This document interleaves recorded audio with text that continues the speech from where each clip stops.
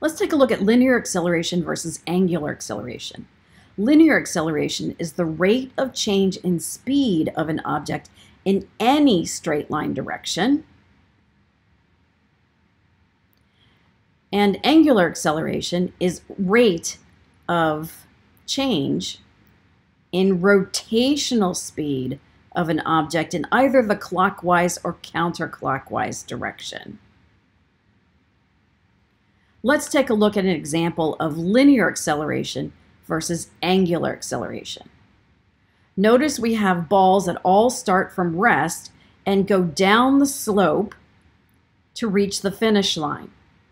If you take a look at the center of mass of the blue ball, the center of mass of the blue ball goes straight in a straight line down to the end and it accelerates from rest, increasing speed as it goes down in this linear straight line direction.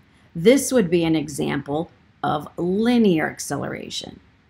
Now let's take a look at an example of angular acceleration.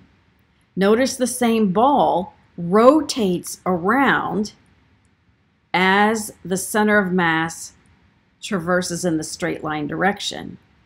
The edge of the ball rotates around,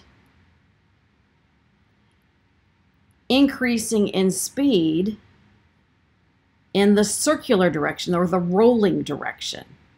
This increasing in angular speed is known as angular acceleration.